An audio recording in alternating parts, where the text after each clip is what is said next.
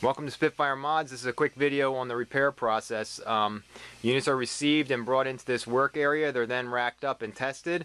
Um, once they're tested and the faulty part is diagnosed, the parts are removed. Um, they then come over to be reballed, reflowed, or you know, depending what the process is, you may need a Blu-ray repair, um, drive repair, or different parts like that um, power supplies. we stock uh, parts for every different unit. Um, we have all the available cables, screws, everything you need. So then your unit's brought over here. Um, we have a Metcal convection system for removing the GPU um, using an AOU, AOYUE 852A++ vacuum pen system, um, which preheats and lifts the chip.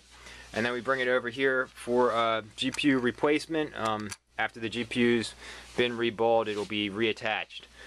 Uh, we also have an area then for PS3 repair um, or Xbox uh, mainboard repair.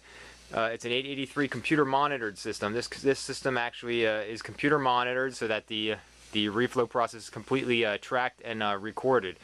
It then um, then the board is reinstalled back into the system over back on our original table here, hooked up to one of our monitors um, where we have work areas to uh, to table the systems, um, lots of access to power so that the units can be powered up and tested, and then once they're certified good, they're packed up and uh, billed out and shipped back to the customer.